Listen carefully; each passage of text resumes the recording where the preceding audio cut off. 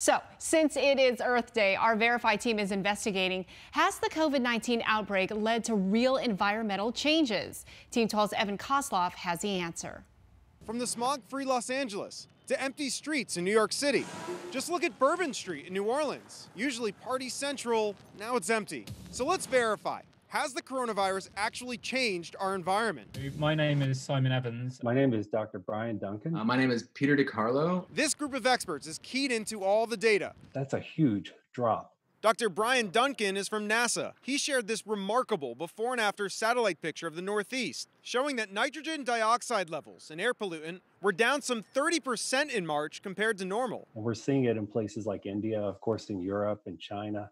Uh, it's, it's really astounding. But what about the big picture? Can we actually put a number on the drop of carbon emissions? It's actually really hard. Simon Evans, a UK based climate journalist for Carbon Brief, tried to do just that. He spent weeks collecting data on oil projections, electricity demand, factory outputs, and formulated this estimate an expected drop of 2,000 million metric tons of carbon emissions. That's a reduction of nearly 6% on the year. This is going to be the biggest reduction in annual carbon emissions ever recorded by more than double. But we should remember this is temporary. This isn't going to last forever. Peter DeCarlo from Johns Hopkins University says that's because carbon emissions can stay in the atmosphere for 100 years or more. We're going to bounce back. A few months, maybe even a year of reduced emissions is really a small change when you think about the lifetime of, of, of, CO2. So we can verify there have been significant environmental changes. With your Verify, this is Evan Koslof.